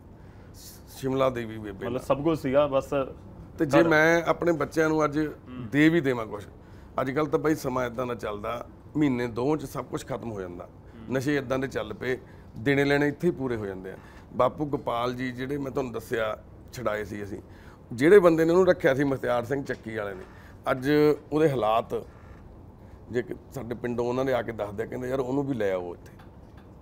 ਜਿਹਨੇ ਉਹ ਚੱਕੀ ਪਾ ਕੇ ਉਹਨੂੰ ਦਿੱਤੀ ਸੀ। ਦਿੱਤੀ ਸੀ ਉਹਦੇ ਦੋ ਪੁੱਤ ਹੋਏ। ਜਿੱਦਣ ਉਹ ਬਾਪੂ ਨੂੰ ਦਰਬਾਰ ਸਾਹਿਬ ਤੋਂ ਲੈ ਕੇ ਆਉਂਦਾ ਵਾਈਫ ਉਹਦੀ ਪ੍ਰੈਗਨੈਂਟ ਹੋਈ ਸੀ ਉਹਦੀ ਸੁੱਖ ਲਾਉਣ ਗਿਆ ਸੀ ਉਹ। ਉਹ 6 ਮਹੀਨਿਆਂ ਦਾ ਹੋ ਕੇ ਮਰ ਗਿਆ ਉਹਦਾ ਪੁੱਤ। ਉਹਨੂੰ ਨਹੀਂ ਪਤਾ ਲੱਗਿਆ ਮੈਂ ਦਰਬਾਰ ਸਾਹਿਬ ਤੋਂ ਰੱਬ ਲੈ ਆਇਆ ਜਾ ਕੇ ਘਰੇ ਬੰਨ ਲਿਆ ਤੇ ਉਹਨੂੰ ਕੁੱਟ ਕੇ ਗੋਹਾ ਚਕਾਉਣਾ ਤੋਂ। ਫਿਰ ਉਹਦੇ ਇੱਕ ਪੁੱਤ ਹੋਰ ਹੁੰਦਾ ਉਹਦੀ ਵੀ ਡੈਥ ਹੋ ਜਾਂਦੀ ਕੁਝ ਮਹੀਨਿਆਂ ਬਾਅਦ। ਫਿਰ ਉਸ ਤੋਂ ਬਾਅਦ ਉਹਦੀ ਵਾਈਫ ਨੂੰ ਕੈਂਸਰ ਹੋ ਜਾਂਦਾ। ਉਹਦੀ ਵਾਈਫ ਨੂੰ ਪਤਾ ਲੱਗ ਗਿਆ ਸੀ ਮਾਨ ਤੋਂ ਬਾਅਦ ਪਹਿਲਾਂ ਵੀ ਅਸੀਂ ਤਸ਼ੱਦਦ ਕਰ ਰਹੇ ਹਾਂ। ਉਹਨੇ ਬੜੀ ਸੇਵਾ ਕੀਤੀ ਬਾਪੂ ਦੀ। ਉਹ ਪਰ ਉਹ ਜਲਾਦ ਬੰਦੇ ਨੇ ਨਹੀਂ ਸਮਝੀ ਗੱਲ। ਉਹ ਮਰ ਗਈ, ਉਹਨੇ ਹੋਰ ਵਿਆਹ ਕਰਾ ਲਿਆ। ਉਹ ਜਿਹੜੀ ਦੂਸਰੀ ਵਾਈਫ ਆਈ, ਉਹ ਵੀ ਇਹਨੂੰ ਬਹੁਤ ਕੁੱਟਦੀ। ਬਾਪੂ ਨੂੰ ਅਸੀਂ ਛਡਾ ਕੇ ਲੈ ਆਏ। ਉਹਦਾ ਘਰ ਵੀ ਵਿਕ ਗਿਆ, ਉਹਦੀ ਚੱਕੀ ਵੀ ਵਿਕ ਗਈ। ਉਹਦਾ ਜਿਹੜੀ ਉਹਨੇ ਇੱਕ ਬੇਟੀ ਅਡਾਪਟ ਕੀਤੀ ਹੋਈ ਸੀ, ਉਹ ਵੀ ਛੱਡ ਕੇ ਚਲੀ ਗਈ ਉਹਨੂੰ। ਹੁਣ ਉਹ ਘਰੋਂ ਬੇਕਾਰ ਹੋ ਕੇ ਨਾਲ ਦੇ ਪਿੰਡ 'ਚ ਕਿਤੇ ਬੈਠਾ। ਵਕਤ ਕੱਟ ਰਿਹਾ। ਇਹੋ ਜਿਹੀਆਂ ਐਗਜ਼ਾਮਪਲਾਂ ਸਾਡੇ ਕੋਲੇ ਹਜ਼ਾਰਾਂ ਹੀ ਆ ਕਿਉਂਕਿ ਅਸੀਂ ਇਹਦੇ ਬਹੁਤ ਨੇੜੇ ਰਹਿੰਦੇ ਆ ਅਸੀਂ ਇਹਨਾਂ ਚੀਜ਼ਾਂ ਦੇ ਵਿੱਚ ਰੋਜ਼ ਵਿਚਰਦੇ ਆ ਤੇ ਮੈਨੂੰ ਨਹੀਂ ਲੱਗਦਾ ਵੀ ਅੱਖੀਂ ਦੇਖ ਕੇ ਕੋਈ ਮੱਖੀ ਨਿਕਲ ਸਕਦਾ। ਤੇ ਵਾਹਿਗੁਰੂ ਨੇ ਰਣਵੀਰ ਦਾ ਇੱਕ ਹੋਰ ਸਵਾਲ ਹੈ ਜੀ। ਅਸਲ ਦੇ ਵਿੱਚ ਜਿਵੇਂ ਦੇ ਤੁਸੀਂ ਹੁਣ ਗੱਲਾਂ ਕਰ ਰਹੇ ਹੋ ਇਹ ਇੰਟਰਵਿਊ ਬਹੁਤ ਸਾਰੇ ਲੋਕ ਦੇਖਣਗੇ। ਤਾਂ ਹੋ ਸਕਦਾ ਹੈ ਕਿ ਉਹਨਾਂ ਦਾ ਮਨ ਬਦਲੇ। ਜਿਹੜੇ 20-20 ਸਾਲ ਤੋਂ 25-25 ਸਾਲ ਤੋਂ ਕਿਸੇ ਨੂੰ ਕੰਮ ਕਰਵਾ ਰਹੇ ਆ ਤਸ਼ੱਦਦ ਢਾ ਰਹੇ ਆ ਤੇ ਹੁਣ ਉਹ ਚਾਹੁੰਦੇ ਹੁਣ ਕਿ ਸਾਤੋਂ ਕੋਈ ਗਲਤੀ ਹੋ ਗਈ ਸਾਤੋਂ ਪਾਪ ਹੋ ਗਿਆ ਅਸੀਂ ਬਦਲਣਾ ਚਾਹੁੰਦੇ ਆ ਤਾਂ ਤੁਸੀਂ ਉਹਨਾਂ ਦਾ ਸਹਿਯੋਗ ਕਰ ਸਕਦੇ ਹੋ ਜਾਂ ਤਾਂ ਉਹ ਬੰਦੇ ਨੂੰ ਆਪਣੇ ਕੋਲ ਕਿਉਂਕਿ ਉਹਨੂੰ ਲੱਗਦਾ ਕਿ ਅਸੀਂ ਕਿੱਥੇ ਛੱਡੀਏ। ਜਾਂ ਫਿਰ ਉਹਨਾਂ ਨੂੰ ਦੁਬਾਰਾ ਮਿਲਾਉਣ ਦੇ ਵਿੱਚ ਆਪਣੇ ਪਰਿਵਾਰ ਨੂੰ ਜਿੱਥੋਂ ਆਏ ਨੇ ਮਦਦ ਕਰ ਸਕਦੇ ਹੋ ਤੁਸੀਂ। ਕਿਉਂਕਿ ਇਸ ਤਰ੍ਹਾਂ ਦੇ ਬਹੁਤ ਸਾਰੇ ਪਰਿਵਾਰ ਹੋਣਗੇ ਹਾਲੇ ਵੀ ਜਿਨ੍ਹਾਂ ਕੋਲ ਇਸ ਤਰ੍ਹਾਂ ਦੀ ਹੈ ਚੀਜ਼ ਜਿਨ੍ਹਾਂ ਨੇ ਕਿਸੇ ਨੂੰ ਗੁਲਾਮ ਬਣਾਇਆ ਹੋਇਆ। ਤੇ ਹੁਣ ਉਹ ਚਾਹੁੰਦੇ ਨੇ ਕਿ ਉਹਨਾਂ ਦਾ ਲੱਗਦਾ ਵੀ ਗਲਤੀ ਹੋ ਗਈ ਸਾਤੋਂ ਵੀਰ ਜੀ ਰਣਬੀਰ ਵੀਰੇ ਬਹੁਤ ਸਾਰੇ ਸਾਨੂੰ ਲੋਕ ਵੀਡੀਓ ਭੇਜਦੇ ਆ ਫੋਨ ਵੀ ਕਰਦੇ ਆ। ਵੀ ਬਾਈ ਅਸੀਂ ਤੁਹਾਡੀ ਵੀਡੀਓ ਦੇਖ ਕੇ ਹੁਣ ਬਦਲ ਗਏ। ਹੁਣ ਮੰਨ ਲਓ ਪਿਓ ਨੇ ਰੱਖਿਆ ਸੀ, ਉਹਦੇ ਪੁੱਤ ਨੇ ਸੋਚਿਆ ਵੀ ਉਹ ਹੁਣ ਵਧੀਆ ਕੱਪੜੇ ਪਵਾ ਕੇ ਉਹਦੀ ਕੇਅਰ ਵੀ ਕਰਦੇ ਨੇ। ਉਹ ਕੋਸ਼ਿਸ਼ ਵੀ ਕਰਦੇ ਨੇ ਵੀ ਇਹਨਾਂ ਦਾ ਘਰ ਲੱਭ ਕੇ ਅਸੀਂ ਭੇਜੀਏ। ਕਿਉਂਕਿ ਆਂਢ ਗੁਆਂਢ ਲੋਕ ਸਾਨੂੰ ਦੱਸ ਦਿੰਦੇ ਆ, ਵੀਡੀਓ ਬਣਾ ਦਿੰਦੇ ਆ, ਬੰਦਾ ਡਰ ਵੀ ਜਾਂਦਾ। ਸਾਡੇ ਕੋਲੇ ਛੱਡ ਕੇ ਵੀ ਗਏ ਨੇ ਬਹੁਤ ਸਾਰੇ ਬੰਦੇ। ਅਸੀਂ ਸਰਕਾਰ ਨੂੰ ਵੀ ਬੇਨਤੀ ਕਰੀ ਸੀ ਵੀ ਕੋਈ ਮੰਨ ਲਓ ਡੀਸੀ ਲੈਵਲ ਤੇ ਸਰਪੰਚਾਂ ਨੂੰ ਚਿੱਠੀਆਂ ਕੱਢੀਆਂ ਜਾਣ। ਸਰਪੰਚ ਆਪੋ ਆਪਣੇ ਪਿੰਡਾਂ 'ਚੋਂ ਬੁਆਇਰਾ ਦੇਣ ਵੀ ਤੁਹਾਡੇ ਪਿੰਡ 'ਚ ਤਾਂ ਨਹੀਂ ਕੋਈ ਇਦਾਂ ਦਾ ਬੰਦਾ ਕੰਮ ਕਰਦਾ, ਜਿਹੜਾ ਪਿੰਡ ਦਾ ਵਸਿੰਦਾ ਨਹੀਂ ਹੈਗਾ। ਪਰ ਨਹੀਂ ਹੋਇਆ ਕੁਝ ਚਲੋ। ਅੱਜ ਤੁਹਾਡੇ ਮਾਧਿਅਮ ਰਾਹੀਂ ਵੀ ਅਸੀਂ ਬੇਨਤੀ ਕਰਦੇ ਹਾਂ ਪੰਜਾਬ ਦੇ ਵਿੱਚ ਬਹੁਤ ਸਾਰੀਆਂ ਸੰਸਥਾਵਾਂ ਕੰਮ ਵੀ ਕਰ ਰਹੀਆਂ। ਅਸੀਂ ਰੱਖਣ ਨੂੰ ਤਿਆਰ ਆ ਰੱਖਣਾ ਕੀ ਹੈ ਬਾਈ? ਮੋਸਟਲੀ 70% ਬੰਦਿਆਂ ਨੇ ਤਾਂ ਘਰ ਹੀ ਲੱਭ ਜਾਣੇ ਸੋਸ਼ਲ ਮੀਡੀਆ ਰਾਹੀਂ ਕੋਈ ਵੱਡੀ ਗੱਲ ਨਹੀਂ, ਜਿਹੜਾ ਬੋਲ ਕੇ ਦੱਸ ਸਕਦਾ। ਮੋਸਟਲੀ ਜਿਨ੍ਹਾਂ ਨੂੰ ਆਪਾਂ ਸੋਸ਼ਲ ਮੀਡੀਆ ਤੇ ਦਿਖਾਉਂਦੇ ਆ ਕੋਈ ਪਹਿਚਾਣ ਲੈਂਦਾ। ਜਿਹੜੇ ਨਹੀਂ ਕਿਤੇ ਜਾਣਗੇ ਉਹਨਾਂ ਲਈ ਰੋਟੀ ਪਾਣੀ ਪੰਜਾਬ 'ਚ ਕੋਈ ਭੁੱਖਾ ਨਹੀਂ ਮਰਦਾ ਬਾਈ। ਅੱਜ ਸਾਡੇ ਕੋਲ 700 ਬੰਦਾ ਅਸੀਂ ਅੱਗੇ ਵੀ ਗੱਲ ਕਰਦੇ ਹੁੰਦੇ ਹਾਂ। ਦੇਖੋ ਅੱਜ 700 ਬੰਦੇ ਦੀ ਸੇਵਾ ਕਰਦੇ ਹਾਂ। ਟੈਂਟ ਲਾ ਕੇ ਤੰਬੂਆਂ ਤੋਂ ਢਾਬੇ ਤੋਂ ਸ਼ੁਰੂ ਕਰੀ ਸੀ ਗੱਲ। ਹੋ ਸਕਦਾ ਇੱਕ ਦਿਨ 700 ਦੀ ਥਾਂ ਤੇ 7000 ਬੰਦੇ ਦੀ ਕਪੈਸਿਟੀ ਬਣ ਜਾਵੇ। ਪਰ ਕੀ ਪੰਜਾਬ ਦੇ ਵਿੱਚ ਫਿਰ ਲੋੜਵੰਦ ਲਵਾਰਸ ਨਹੀਂ ਹੋਣਗੇ ਸੜਕਾਂ ਤੇ? ਗੱਲ ਤਾਂ ਇਹ ਦਿਨ ਬ ਦਿਨ ਵੀਰੇ, ਇਹ ਤਾਂ ਰੇਸ਼ੋ ਹੋਰ ਵੱਧਦੀ ਜਾ ਰਹੀ ਆ। ਕਮੀ ਕਿੱਥੇ ਆ? ਗਲਤੀ ਕਿੱਥੇ? ਗਲਤੀ ਅਵੇਅਰਨੈਸ ਦੀ ਆ। ਗਲਤੀ ਉਸ ਬੰਦੇ ਦੀ ਆ, ਜਿਹੜੇ ਬੰਦੇ ਨੂੰ ਤੁਸੀਂ ਗੱਲ ਕੀਤੀ ਹੈ ਵੀ ਉਹ ਬੰਦਾ ਛੱਡ ਕੇ ਜਾਊਗਾ। ਉਹ ਬੰਦਾ ਅਵੇਅਰ ਹੋਵੇ। ਉਹਦਾ ਗਵਾਂਢੀ ਅਵੇਅਰ ਹੋ ਜਾਵੇ ਵੀ ਯਾਰ ਇਹਨਾਂ ਦੇ ਘਰੇ ਇੰਨੇ ਸਾਲਾਂ ਤੋਂ ਆ, ਸਾਨੂੰ ਬੰਦੇ ਮਿਲਦੇ ਆ। ਵੀ ਯਾਰ ਮੈਂ ਉਥੋਂ ਛੱਡਤਾ, ਸਾਡੇ ਪਿੰਡ ਬੰਦਾ ਫਿਰਦਾ ਜੀ ਕਮਲਾ, ਗੋਹੇ ਨਾਲ ਲਿਬੜਿਆ ਹੋਇਆ, ਕਿੱਥੋਂ ਆਇਆ ਪਤਾ ਨਹੀਂ। ਬਾਅਦ ਚ ਪਤਾ ਲੱਗਦਾ, ਕੋਈ ਵੀਡੀਓ ਜਦੋਂ ਸਾਡੀ ਦੇਖਦਾ, ਫੋਨ ਕਰਦਾ, ਬਾਈ ਉਹ ਬੰਦਾ ਸਾਡੇ ਗਵਾਂਢ 'ਚ ਰੱਖਿਆ ਸੀ, ਕੁੱਟਦੇ ਸੀ ਬਹੁਤ, ਮੇਰੀ ਲਿਹਾਜ਼ ਸੀ ਉਹਨਾਂ ਨਾਲ। ਮੈਂ ਸਾਹਮਣੇ ਨਹੀਂ ਆ ਸਕਦਾ, ਮੈਂ ਰਾਤ ਨੂੰ ਚੋਰੀ ਉਹਨੂੰ ਛੱਡ ਗਿਆ ਸੀ। ਹੁਣ ਮੈਂ ਤੁਹਾਡੇ ਕੋਲੇ ਪਹੁੰਚ ਗਿਆ, ਵਧੀਆ ਕੀਤਾ ਯਾਰ, ਮੇਰਾ ਕੀਤਾ ਸਫਲ ਹੋ ਗਿਆ। ਮਤਲਬ ਉਹ ਲੋਕਾਂ ਦੀ ਕਮੀ ਰਹਿ ਗਈ ਪੰਜਾਬ 'ਚ ਅੱਜ। ਅੱਜ ਪੰਜਾਬ ਦੇ ਜ਼ਿਆਦਾਤਰ ਲੋਕ ਜਿਹੜੇ ਬੜੇ ਬਹਾਦਰ ਸੀਗੇ। ਉਹ ਪਤਾ ਨਹੀਂ ਛੋਟੀਆਂ ਛੋਟੀਆਂ ਗੱਲਾਂ ਤੋਂ ਡਰੀ ਜਾਂਦੇ, ਯਾਰ ਮੇਰੇ ਤੇ ਉਲਟਾ ਨਾ ਪੈ ਜਾਏ, ਕਿਤੇ ਮੇਰੇ ਤੇ ਕੋਈ ਕੇਸ ਨਾ ਕਰ ਦੇਵੇ, ਕੋਈ ਮੇਰੇ ਤੇ ਨਾ ਬਲੇਮ ਕਰ ਦੇਵੇ। ਜਿਵੇਂ ਆਪਾਂ ਐਕਸੀਡੈਂਟ ਪਏ ਬੰਦੇ ਨੂੰ ਡਰਦੇ ਆ ਚੱਕਣ ਤੋਂ ਮੇਰੇ ਉਲਟ ਨਾ ਹੋ ਜਾਵੇ, ਉਵੇਂ ਅੱਜ ਪਿੰਡਾਂ ਦੇ ਵਿੱਚ ਲੋਕ ਕਿਸੇ ਆਂਢ ਗੁਆਂਢ ਕੁਝ ਗਲਤ ਹੋ ਰਿਹਾ, ਕਿਸੇ ਦਾ ਪੁੱਤ ਅਪਸੈਟ ਆ, ਬੰਨਿਆ ਹੋਇਆ ਸੰਗਲ ਨਾਲ, ਅੱਲਾ ਕਹਿੰਦਾ ਜੇ ਮੈਂ ਦੱਸੂਗਾ, ਮੈਨੂੰ ਗਲ ਪਿਆ, ਢੋਲ ਨਾ ਵਜਾਉਣਾ ਪੈ ਜਾਵੇ। ਫਿਰ ਇਸੇ ਕਰਕੇ ਅੱਜ ਲੋਕ ਥੋੜੇ ਜਿਹਾ ਜ਼ਿਆਦਾ ਖੁੱਲ ਕੇ ਇਦਾਂ ਦੇ ਕੰਮਾਂ ਦੇ ਵਿੱਚ ਅੱਗੇ ਆ ਗਏ ਆ। ਪਰ ਜੇ ਉਹ ਕਰਨ ਅਸੀਂ ਜ਼ਰੂਰ ਸਪੋਰਟ ਕਰਾਂਗੇ ਕੋਸ਼ਿਸ਼ ਕਰਾਂਗੇ ਵੀ ਉਹਨਾਂ ਦੇ ਘਰ ਲੱਭੀਏ ਤੇ ਉਹਨਾਂ ਨੂੰ ਘਰਾਂ ਤੱਕ ਪਹੁੰਚਾਈਏ। ਮਨਪ੍ਰੀਤ ਇਹਨਾਂ ਨੇ ਵੀ ਸਵਾਲ ਪੁੱਛਣਾ। ਵੈਸੇ ਤਾਂ ਤੁਸੀਂ ਬਹੁਤ ਵੱਡੀ ਸੇਵਾ ਕਰ ਰਹੇ ਹੋ ਮਨੁੱਖਤਾ ਦੀ ਸੇਵਾ ਬਹੁਤ ਵੱਡੀ ਸੇਵਾ ਹੈ। ਗੁਰੂ ਮਹਾਰਾਜ ਦੀ ਬੜੀ ਕਿਰਪਾ ਵੀ ਹੈ ਤੁਹਾਡੇ ਤੇ। ਪਰ ਫਿਰ ਵੀ ਇਹ ਜਾਨਣਾ ਚਾਹੁੰਦੀ ਹਾਂ ਵੀ ਜੋ ਤੁਸੀਂ ਸੇਵਾ ਕਰਦੇ ਹੋ ਤਾਂ ਜੱਗ ਜ਼ਾਹਿਰ ਹੈ। ਵੀਡੀਓਜ਼ ਆ ਰਹੀਆਂ ਨੇ ਸਭ ਕੁਝ ਸਭ ਦੇ ਸਾਹਮਣੇ ਹੈ। ਪਰ ਕਦੀ ਇਦਾਂ ਦੀ ਸਿਚੁਏਸ਼ਨ ਆਈ ਹੋਵੇ ਕਿ ਤੁਹਾਨੂੰ ਮਦਦ ਲਈ ਫੋਨ ਆਇਆ ਤੁਸੀਂ ਜਦ ਤੱਕ ਪਹੁੰਚੇ ਤਾਂ ਦੇਰ ਹੋ ਚੁੱਕੀ ਹੋਵੇ ਬੇਬਸ ਮਹਿਸੂਸ ਕੀਤਾ ਹੋਵੇ ਆਪਣੇ ਆਪ ਨੂੰ, ਕਿਸੇ ਹੋਰ ਦੀ ਮਦਦ ਲੈਣੀ ਪਈ ਹੋਵੇ ਇਦਾਂ ਦੀ ਸਿਚੁਏਸ਼ਨ 'ਚ ਸੰਸਥਾ ਕੀ ਕਰਦੀ ਹੈ? ਬਹੁਤ ਵਾਰ ਭੈਣੇ, ਦੇਖੋ, ਅਸਲ 'ਚ ਨਾ ਅਸੀਂ ਇਹ ਸਾਰਾ ਕੁਝ ਕਰਦੇ ਆ ਕਰਦੇ ਆ ਇਸ ਚੀਜ਼ ਨੂੰ ਤਾਂ ਮੰਨਦੇ ਆ ਵੀ ਇਹ ਕੋਈ ਹੋਰ ਤਾਕਤਕਾਰੀ ਅਸੀਂ ਨਹੀਂ ਕਰ ਰਹੇ। ਇਹ ਹੋ ਰਿਹਾ 700 ਬੰਦਾ ਜਿਹੜਾ ਸਾਡੇ ਕੋਲ ਰਹਿ ਰਿਹਾ ਮੋਸਟਲੀ ਉਹਦੇ ਵਿੱਚੋਂ ਕਰੀਬ 4 450 ਬੰਦੇ ਮੈਂਟਲੀ ਅਪਸੈਟ ਸੀ। ਜਿਹੜੇ ਸੰਗਲਾਂ ਨਾਲ ਬੰਨੇ ਹੋਏ ਸੀ 100 ਦੇ ਕਰੀਬ ਉਹ ਨੇ। ਸਾਡੇ ਕੋਲ 6 ਬੰਦੇ ਇਦਾਂ ਦੇ ਨੇ ਜਿਨ੍ਹਾਂ ਨੇ ਮਰਡਰ ਕੀਤੇ ਨੇ, ਕਿਸੇ ਨੇ ਆਪਣੀ ਮਾਂ ਨੂੰ ਮਾਰਿਆ, ਕਿਸੇ ਨੇ ਦਾਦੀ ਨੂੰ ਇਦਾਂ ਉਹ ਬੰਦੇ ਸਾਡੇ ਕੋਲ ਰਹਿ ਕੇ ਸੇਵਾ ਕਰਾ ਰਹੇ ਨੇ, ਸ਼ਾਂਤ ਨੇ। ਇਹਦਾ ਮਤਲਬ ਅਸੀਂ ਨਹੀਂ ਕਰ ਰਹੇ, ਹੋ ਰਿਹਾ। ਸਾਨੂੰ ਲੋਕ ਕਾਲ ਕਰਦੇ ਨੇ, ਸਾਤੋਂ ਉੱਥੇ ਜਾਣਾ, ਲੈ ਕੇ ਆਉਣਾ, ਇਹ ਸਾਡੇ ਵੱਸ ਦੀ ਗੱਲ ਹੀ ਨਹੀਂ। ਇਹ ਤਾਂ ਉਹਦੇ ਜਿਹਦਾ ਅਨਜਲ ਮੈਂ ਇਸ ਗੱਲ ਤੇ ਬਲੀਵ ਕਰਦਾ ਸੀ ਜਾਈਦਾ ਸਾਡੇ ਜਾਣ ਤੋਂ ਪਹਿਲਾਂ ਬੰਦੇ ਦੀ ਮੌਤ ਹੋ ਜਾਂਦੀ ਆ। ਸਾ ਜਾਈਦਾ ਮੂਹਰਲਾ ਬੰਦਾ ਜਾਣ ਤੋਂ ਪਹਿਲਾਂ ਹੀ ਸਾਨੂੰ ਗਾਲਾਂ ਕੱਢਦਾ, ਮੈਂ ਤੁਹਾਨੂੰ 5 ਦਿਨ ਹੋ ਗਏ ਫੋਨ ਕਰਦੇ ਨੂੰ, ਬੰਦਾ ਮਰ ਗਿਆ, ਤੁਸੀਂ ਆਏ ਹੀ ਨਹੀਂ ਲੈਣ। ਮਤਲਬ ਉੱਥੇ ਦੋਸ਼ੀ ਕੌਣ ਆ ਜੀ? ਦੋਸ਼ੀ ਤਾਂ ਉੱਥੇ ਉਹ ਸਮਾਜ ਆ ਜਿਹੜਾ ਉਹਦੇ ਕੋਲ ਦੀ ਲੰਘਦਾ ਹੀ ਥੁੱਕੇ ਸਾਡੇ ਕੋਲੇ ਇਦਾਂ ਦੇ ਕੇਸ ਅਸੀਂ ਲੈ ਕੇ ਆਉਂਦੇ ਸਿਰ 'ਚ ਕੀੜੇ ਪਏ ਆ, ਲੋਕ ਉਹਦੇ ਕੋਲ ਦੀ ਲੰਘਦੇ ਨੱਕ ਤੇ ਹੱਥ ਰੱਖ ਕੇ ਥੁੱਕ ਕੇ ਲੰਘੇ ਜਾਂਦੇ ਕੋਲ ਦੀ। ਉਹ ਦੋਸ਼ੀ ਨੇ ਸਾਰੇ ਲੋਕ ਜਿਹੜੇ ਦੇਖ ਕੇ ਨਿਕਲ ਰਹੇ ਨੇ। ਅੱਜ ਦਾ ਬੰਦਾ ਇੰਨਾ ਜ਼ਿਆਦਾ ਗਿਰ ਗਿਆ ਥੱਲੇ। ਸਾਡੇ ਕੋਲ ਇੱਕ ਕੇਸ ਆ 14 ਸਾਲ ਦੀ ਬੇਟੀ ਜੀ ਮੈਂ ਪਲੀਜ਼ ਇਹ ਜ਼ਰੂਰ ਸ਼ੇਅਰ ਕਰਨਾ ਚਾਹਾਂਗਾ। ਖੁਸ਼ੀ ਉਹਦਾ ਨਾਂ। ਸਾਡੇ ਕੋਲੇ ਅੱਜ ਤੋਂ 4 ਮਹੀਨੇ ਪਹਿਲਾਂ ਪਹੁੰਚਦੀ ਆ ਰੋਈ ਜਾਂਦੀ ਆ ਬਾਹਰ ਬੈਠੀ। ਅਸੀਂ ਉਹਨੂੰ ਪੁੱਛਦੇ ਆ ਉਹ ਕਹਿੰਦੀ ਵੀ ਵੀਰੇ ਮੇਰੇ ਮੰਮੀ ਪਾਪਾ ਹਿੰਦੀ 'ਚ ਬੋਲਦੀ ਉਹ। ਵੀ ਮਾਂ-ਬਾਪ ਦੀ ਮੇਰੀ ਡੈਥ ਹੋ ਗਈ ਮੇਰੀ ਬੂਆ ਨੇ ਮੈਨੂੰ ਵਿਆਹਤਾ। ਤੇ ਮੇਰੇ ਘਰ ਵਾਲੇ ਦੀ ਉਮਰ ਮੇਰੇ ਤੋਂ ਦੋ ਗੁਣਾ ਵੱਧ ਆ। ਮੈਂ ਪ੍ਰੈਗਨੈਂਟ ਹੋ ਗਈ, ਹੁਣ ਮੈਨੂੰ ਕੁੱਟਦਾ ਬਹੁਤ ਜ਼ਿਆਦਾ। ਕਾਰਨ ਪੁੱਛਦੀ ਕਾਰਨ ਵੀ ਨਹੀਂ ਦੱਸਦਾ। ਮੈਨੂੰ ਇੰਨਾ ਕੁੱਟਦਾ, ਮੈਂ ਦੋ ਤਿੰਨ ਵਾਰੀ ਘਰੋਂ ਭੱਜੀ ਮੈਂ ਫਿਰ ਵਾਪਸ ਮੁੜ ਜਾਂਦੀ ਹਾਂ। ਬਾਹਰ ਮੈਨੂੰ ਲੋਕ ਖਾਣ ਪੈਂਦੇ ਨੇ। ਵੀ ਇਸ ਵਾਰ ਮੈਂ ਘਰੋਂ ਨਿਕਲੀ ਤਾਂ ਮੈਨੂੰ ਇੱਕ ਬੰਦਾ ਮਿਲਿਆ। ਮੈਂ ਉਹਨੂੰ ਦੱਸੀ ਗੱਲ ਤੇ ਉਹਨੇ ਮੈਨੂੰ ਤੁਹਾਡੀ ਪਰਚੀ ਤੇ ਮੇ- ਮਨੁੱਖਤਾ ਦੀ ਸੇਵਾ ਤੇ ਨੰਬਰ ਲਿਖਿਆ। ਸੀ ਮੈਨੂੰ ਇੱਥੇ ਭੇਜਤਾ ਆਟੋ 'ਚ ਬਿਠਾ ਕੇ। ਅਸੀਂ ਉਹ ਬੱਚੀ ਨੂੰ ਅੰਦਰ ਲੈ ਕੇ ਜਾਂਦੇ ਆ ਟੈਸਟ ਕਰਾਉਂਦੇ ਆ ਉਹ ਕਰੀਬ ਸਾਢੇ ਤਿੰਨ ਤਿੰਨ ਮਹੀਨਿਆਂ ਦੀ ਪ੍ਰੈਗਨੈਂਟ ਆ ਬੱਚੀ। ਤੇ ਉਹਦੀ ਉਮਰ 14 ਸਾਲ। ਹਸਪੀਟਲ 'ਚ ਚੈੱਕਅਪ ਹੁੰਦੇ ਆ, ਟੈਸਟ ਹੋਣੇ ਸ਼ੁਰੂ ਹੁੰਦੇ ਆ, ਉਹਦੇ ਘਰ ਵਾਲੇ ਤੱਕ ਸੰਪਰਕ ਕਰਦੇ ਆ 12 13 ਦਿਨ ਲੱਗ ਜਾਂਦੇ ਉਹਨੂੰ ਲੱਭ ਕੇ ਲਿਆਉਂਦੇ ਆ ਅਸੀਂ। ਮਹਿੰਦੀ ਹਸਨ ਉਹਦਾ ਨਾਂ, ਬੇਟੀ ਇੰਨੀ ਡਿਪਰੈਸ ਰੋਂਦੀ ਆ, ਤੜਫਦੀ ਆ, ਉਸੇ ਘਰ ਵਾਲੇ ਤੋਂ ਕੁੱਟ ਖਾਂਦੀ, ਉਹਨੂੰ ਯਾਦ ਵੀ ਕਰਦੀ ਆ, ਕਿਉਂਕਿ ਬੱਚੀ ਸੀ ਅਟੈਚ ਵੀ ਸੀ ਕਿਤੇ ਨਾ ਕਿਤੇ ਉਹਦੇ ਨਾਲ। ਤੇ ਉਹ ਆਉਂਦਾ, ਸ਼ਰਾਬ ਦਾ ਆਦੀ ਸੀ 2 ਘੰਟੇ ਰੁਕਦਾ, ਭੱਜ ਜਾਂਦਾ, ਚਲੇ ਜਾਂਦਾ। ਕਹਿੰਦਾ ਜੀ ਮੈਂ ਨਹੀਂ ਰਹਿ ਸਕਦਾ ਇੱਥੇ। ਬੱਚੀ ਦਾ ਇਲਾਜ ਸ਼ੁਰੂ ਹੋ ਜਾਂਦਾ। ਡੇਢ ਮਹੀਨੇ ਬਾਅਦ ਉਹਦੇ ਲੇਬਰ ਪੇਨ ਸ਼ੁਰੂ ਹੁੰਦੀ ਆ। ਡਾਕਟਰ ਕਹਿੰਦੇ ਵੀ ਹਜੇ 5 5.5 ਮਹੀਨੇ ਦਾ ਬੱਚਾ ਵੀ ਇਹਨੂੰ ਲਿਵਰ ਪੇਨ ਨੂੰ ਰੋਕਣ ਲਈ ਇੰਜੈਕਸ਼ਨ ਲਾਉਂਦੇ ਨੇ। ਤਿੰਨ ਵਾਰ ਉਹਦੇ ਲਿਵਰ ਪੇਨ ਹੁੰਦੇ, ਤਿੰਨ ਵਾਰ ਡਾਕਟਰ ਉਹਦੀ ਲਿਵਰ ਪੇਨ ਰੋਕ ਲੈਂਦੇ ਆ। ਕਰਦੇ ਕਰਦੇ 6.5 ਮਹੀਨੇ ਤੇ ਚਲੇਗੀ ਗੱਲ। ਜਦੋਂ 6.5 ਮਹੀਨੇ ਦੀ ਪ੍ਰੈਗਨੈਂਸੀ ਹੋ ਜਾਂਦੀ ਆ, ਤਾਂ ਉਹਦੇ ਮੰਨ ਲਓ ਪ੍ਰੈਗਨੈਂਸੀ ਕਰਨੀ ਡਾਕਟਰ ਕਹਿੰਦੇ ਜ਼ਰੂਰੀ ਹੈ ਜਾਂ ਤਾਂ ਇਹਦੀ ਮੌਤ ਹੋ ਜੂਗੀ, ਨਹੀਂ ਤਾਂ ਕੁੜੀ ਦੀ। ਆਪਰੇਟ ਹੁੰਦਾ, ਬੱਚਾ ਹੋ ਜਾਂਦਾ। ਉਹਦੇ ਘਰ ਵਾਲੇ ਨੂੰ ਲੱਭਦੇ ਆ, ਲੈ ਕੇ ਆਉਨੇ ਆ ਹਸਪੀਟਲ ਆਉਂਦਾ। ਸਾਨੂੰ ਵੀ ਉਮੀਦ ਸੀ ਵੀ ਜੇ ਬੇਟੀ ਹੋ ਗਈ ਨਹੀਂ ਆਉਂਦਾ, ਜੇ ਬੇਟਾ ਹੋ ਗਿਆ, ਕਿਤੇ ਸੀ ਚਾਂਸ ਵੀ ਆ ਆਜੂ ਆਉਂਦਾ, ਆ ਕੇ ਬੇਟੇ ਨੂੰ ਦੇਖਦਾ, ਮਸ਼ੀਨਾਂ 'ਚ ਲੱਗੇ ਨੂੰ, ਸਾਹ ਮਸ਼ੀਨਾਂ ਨਾਲ ਲੈ ਰਿਹਾ। 780 ਗ੍ਰਾਮ weight ਸੀ ਬੱਚੇ ਦਾ। ਉਹ ਦੇਖ ਕੇ ਖੁਸ਼ ਹੋ ਜਾਂਦੀ ਹੈ ਵੀ ਮੇਰਾ ਘਰ ਵਾਲਾ ਆ ਗਿਆ। ਉਹ ਸ਼ਾਮ ਤੱਕ ਹਸਪੀਟਲ 'ਚ ਫਿਰ ਗਾਇਬ ਹੋ ਜਾਂਦਾ। ਬੱਚਾ 24 ਦਿਨ ਮਸ਼ੀਨਾਂ 'ਚ ਸਹਿਕਦਾ ਰਹਿੰਦਾ। ਇੱਕ ਤਰੀਕ ਨੂੰ 1 ਅਗਸਤ ਨੂੰ ਜਨਮ ਹੁੰਦਾ 24 ਅਗਸਤ ਨੂੰ ਬੱਚੇ ਦੀ ਡੈਥ ਹੋ ਗਈ ਸਾਡੇ ਕੋਲ। ਤੇ 18 ਅਗਸਤ ਨੂੰ ਅਸੀਂ ਉਹਨੂੰ ਲੱਭ ਕੇ ਲਿਆਉਨੇ ਆ, ਅਸੀਂ ਅੰਦਰ ਤਾੜ ਦਿੰਨੇ ਆ। ਤਾੜਨ ਦਾ ਮਤਲਬ ਵੀ ਸੁਪਨਿਆਂ ਦੇ ਘਰ ਅੰਦਰ ਬਿਠਾ ਲਿਆ ਸਿਕਿਉਰਿਟੀ ਵਾਲਿਆਂ ਨੂੰ ਕਹਤਾ ਵੀ ਇਹਨੂੰ ਬਾਹਰ ਨਹੀਂ ਜਾਣ ਦੇਣਾ। ਤੇ ਰੋਟੀ ਪਾਣੀ ਉਹਨੂੰ ਅੰਦਰ ਹੀ, ਬੇਟ, ਉਹਦੇ ਕੋਲੇ ਹੀ ਆਪਣੀ ਵਾਈਫ ਤੇ ਬੈਠਾ ਉਹ। 24 ਤਰੀਕ ਨੂੰ ਸਾਨੂੰ ਕਾਲ ਆਉਂਦੀ ਹੈ ਤੜਕਿਓਂ 1 ਵਜੇ ਵੀ ਬੱਚਾ ਇਵਾਨ ਉਹਨੇ ਬੇਟੀ ਨੇ ਨਾਂ ਰੱਖਿਆ ਆਪਣੇ ਬੇਟੇ ਦਾ, ਮੁਹੰਮਦ ਇਵਾਨ ਮਲਿਕ। ਮਲਿਕ ਉਹਦੇ ਬਾਪ ਦਾ ਨਾਮ ਸੀਗਾ, ਉਹਨੇ ਉਹ ਨਾਮ ਦਿੱਤਾ ਮੁਹੰਮਦ ਇਵਾਨ ਮਲਿਕ। ਇਵਾਨ ਦੀ ਡੈਥ ਹੋ ਗਈ ਜੀ, ਕਹਿੰਦੇ। ਸਵੇਰੇ ਉੱਠੇ ਅਸੀਂ ਥੋੜਾ ਟਾਈਮ ਨਾਲ ਬੱਚੇ ਨੂੰ ਰੋਟੀ ਪਾਣੀ ਖਵਾ ਕੇ ਦੋਨਾਂ ਨੂੰ ਦੱਸਿਆ। ਉਹ ਬੇਹੋਸ਼ ਹੋਣ ਲੱਗੀ ਜਦੋਂ ਉੱਠਿਆ ਕਰੇ, ਮਾੜਾ ਜਿਹਾ ਰੋਇਆ ਕਰੇ, ਬੇਹੋਸ਼ ਹੋ ਜਾਇਆ ਕਰੇ। 14 ਸਾਲ ਦੀ ਬੱਚੀ, ਜਿਹੜੀ ਖੁਦ ਬੱਚੀ ਸੀ, ਉਹਦੇ ਬੱਚਾ ਹੋ ਗਿਆ ਅੱਗੋਂ। ਅਸੀਂ ਪੁਲਿਸ ਕੇਸ ਵੀ, ਪੁਲਿਸ ਆਈ, ਬਿਆਨ ਲੈ ਕੇ ਗਈ ਆ। ਅਜੇ ਉਹਦਾ ਬੱਚੇ ਸੀ। ਉਹਦੇ ਘਰ ਵਾਲਿਆਂ ਨੂੰ ਲੈ ਕੇ ਅਸੀਂ ਹਸਪੀਟਲ ਜਾਂਦੇ ਡੈੱਡ ਬੋਡੀ ਲੈਣ। ਕਬਰਸਤਾਨ 'ਚ ਸੰਪਰਕ ਕਰਦੇ ਆ ਵੀ ਉਹਨੂੰ ਬੱਚੇ ਨੂੰ ਦਫਨਾਉਣਾ ਵਾ। ਕਬਰਸਤਾਨ ਵਾਲਿਆਂ ਨੇ ਸਾਨੂੰ 1 ਵਜੇ ਦਾ ਟਾਈਮ ਦਿੱਤਾ ਵੀ ਤੁਸੀਂ ਆ ਜਿਓ। ਹਸਪੀਟਲ ਜਾ ਕੇ ਡਾਕਟਰ ਦੇ ਰੂਮ 'ਚ ਵੜਦੇ ਆ, ਪਿੱਛੇ ਡਾਕਟਰ ਕਹਿੰਦਾ ਵੀ ਇਹਦੇ ਹਸਬੰਡ ਕਿੱਥੇ ਉਹਨੂੰ ਬੁਲਾਓ ਵੀ ਸਾਈਨ ਕਰਾਉਣੇ। ਜੋ ਪਿੱਛੇ ਦੇਖਦੇ ਹੋ ਹੈ ਨਹੀਂ। ਲੱਭਦੇ ਆ, ਕਿਤੇ ਨਹੀਂ ਲੱਭਦਾ। ਹਸਪੀਟਲ ਦੇ ਸੀਸੀਟੀਵੀ ਕੈਮਰੇ ਚੈੱਕ ਕਰਦੇ ਆ, ਤਾਂ ਉਹਦੇ 'ਚ ਪਤਾ ਲੱਗਦਾ ਵੀ ਹਸਪੀਟਲ ਜਦੋਂ ਸਾਡੇ ਨਾਲ ਅੰਦਰ ਵੜਿਆ, ਉਹਨੇ ਜੋ ਦੇਖਿਆ ਸੀ ਬਿਜ਼ੀ ਹੋ ਕੇ ਗੱਲਾਂ ਕਰਨ ਲੱਗ ਗਿਆ, ਉਹ ਪਿੱਛੋਂ ਨਿਕਲ ਗਿਆ। ਆ ਕੇ ਜਿੱਥੇ ਵੇਟਿੰਗ ਰੂਮ ਸੀ, ਉੱਥੇ ਉਹਨਾਂ ਦੇ ਵਿੱਚ ਆ ਕੇ ਬਹਿ ਜਾਂਦਾ। ਅਸੀਂ ਕੈਮਰੇ 'ਚ ਆਸੇ-ਪਾਸੇ ਲੱਭਦੇ ਫਿਰਦੇ ਆ, ਉੱਥੇ ਨੀਵੀਂ ਪਾਈ ਬੈਠਾ। ਜਦੋਂ ਅਸੀਂ ਲੱਭਦੇ ਲੱਭਦੇ ਦੂਜੇ ਪਾਸੇ ਚਲੇ ਜਾਂਦੇ ਤਾਂ ਉਹ ਭੱਜ ਜਾਂਦਾ। ਉਹ ਆਪਣੇ ਮਰੇ ਪਏ ਬੱਚੇ ਨੂੰ ਛੱਡ ਕੇ ਭੱਜ ਗਿਆ। ਦੇਖੋ ਕਿੱਡੀ, ਇਸ ਤੋਂ ਵੱਧ ਮਾੜਾ ਸਮਾਂ ਹੋਰ ਕੀ ਹੋਊ ਸਾਡੇ ਤੇ? ਇੰਨੇ ਜ਼ਿਆਦਾ ਅਸੀਂ ਗਰਕ ਗਏ ਆ ਵੀ ਅਸੀਂ ਆਪਣੀ ਇਸ ਜ਼ਿੰਮੇਵਾਰੀ ਤੋਂ ਵੀ ਮੁਨਕਰ ਹੋ ਗਏ ਔਰ ਉਹਦੀ ਭੂਆ ਜਿਹਨੇ ਉਹਨੂੰ ਵਿਆਹਿਆ ਸੀ, ਉਹ ਕਹਿੰਦੀ ਉਹ ਕਹਿੰਦੀ, ਮੈਂ ਵਿਆਹਿਆ। ਮੈਂ ਕਹਿੰਦੀ, ਇਹਦਾ ਮਤਲਬ ਕੀ ਕਹਿੰਦੇ ਆ, ਮਤਲਬ ਨਿਕਾਹ ਕੀਤਾ ਸੀ। ਉਹਦੇ 'ਚ ਕੁਝ ਹੋਰ ਕਹਿੰਦੇ ਵੀ ਉਹ ਲੈ ਕੇ ਉਹਨੇ ਉਹਦਾ ਵਿਆਹ ਕਰਤਾ ਬੱਚੀ ਦਾ, ਮਾਂ ਪਿਓ ਮਰੇ ਹੋਏ ਸੀ। ਹੁਣ ਉਹਦੀ ਬੱਚੀ ਦੀ ਜ਼ਿੰਦਗੀ ਦੇ ਵਿੱਚ ਅੱਗੋਂ ਕੋਈ ਉਹਦੇ ਮੂਹਰੇ ਖੜਨ ਵਾਲਾ ਨਹੀਂ। ਸਾਡੇ ਕੋਲ ਇੱਕ ਬੱਚੀਆਂ ਨਿੱਕੀਆਂ ਨਿੱਕੀਆਂ ਜਿਹਨਾਂ ਦੇ ਮਾਂ-ਬਾਪ ਚਿੱਟਾ ਲਾਉਂਦੇ ਸੀਗੇ ਉਹਦੀਆਂ ਭੂਆ ਮਾਸੀਆਂ ਚਾਚੀਆਂ ਤਾਈਆਂ ਮਤਲਬ ਐਡਾ ਵੱਡਾ ਰਿਸ਼ਤੇਦਾਰੀਆਂ ਦਾ ਕੁਨਵਾ ਕੋਈ ਅੱਗੇ ਆਉਣ ਵਾਲਾ ਇਨੀਸ਼ੀਏਟਿਵ ਲੈਣ ਵਾਲਾ ਨਹੀਂ।